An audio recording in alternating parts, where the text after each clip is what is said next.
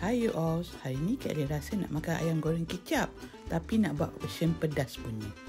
Ayam goreng kicap ni memang menjadi kegemaran ramai.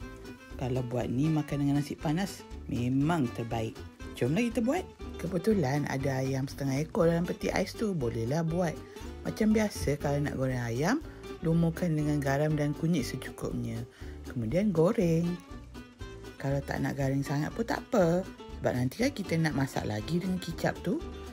Ayam dah agak-agak masak, boleh angkat dan ketepikan dulu. Kita buat pula dia punya kuah kicap. Yang ni Kak kisah je semua. Masukkan serai tu memang lagi sedap. Kita kan nak buat versi pedas punya, so Kak masukkan juga cili padi. Kisar halus, kemudian boleh tumis. Kak guna balik je minyak goreng ayam tadi. Tumis bahan-bahan kisar dengan cili kisar sekali sampai pecah minyak. Masukkan sedikit air. Tumis lagi sampai pecah minyak. Lagi sekali. Barulah lagi sedap. Kemudian boleh masukkan daun kari. Kacau sebati dan boleh masukkan kicap-kicap yang kita nak guna. Kak guna sos tiram dengan kicap manis. Kacau lagi sampai kuah kita dah jadi hitam macam ni. Kemudian Eli tutup sekejap.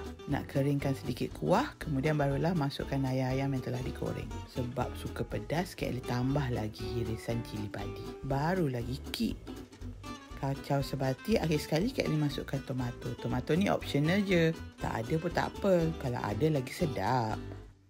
Boleh kacau lagi sampai semuanya dah sebati. Dah siap ayam goreng kicap pedas kita. Ada satu lauk macam ni pun dah cukup. Tahu-tahu tambah je nasi tu memang sedap. Anda kat rumah jangan lupa cuba. Bye.